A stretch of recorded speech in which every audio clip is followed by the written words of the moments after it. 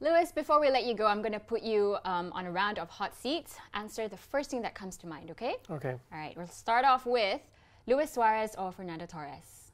Only one? Only one. If you had to manage a team and you could only pick one of them, who would you pick? Yeah, different. Uh, well, I'll go for the killer, uh, Luis Suarez. Suarez. Best league in Europe. Uh, Premier League. If you could interview anyone dead or alive for five minutes, who would it be? Um, uh, A tough one. yes. Um, I will go for um, Luther King. Mm, Martin Luther King. Yes. Right. Now, you're very active on social media. So, which would you pick as your favorite? Twitter, Facebook, or Instagram?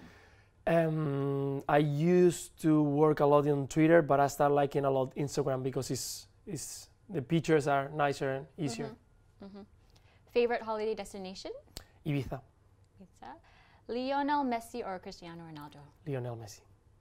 For obvious reasons, right? Barcelona. Okay. Favorite movie?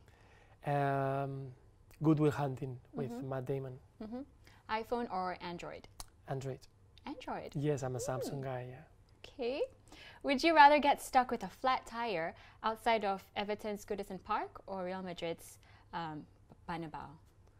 Real Madrid's Bernabeu. Really? Yeah, because I'm in Madrid. I'm closer to home. Ah, okay. so you're more familiar with your surroundings. Exactly. Okay. Final one: Pep Guardiola or Jose Mourinho?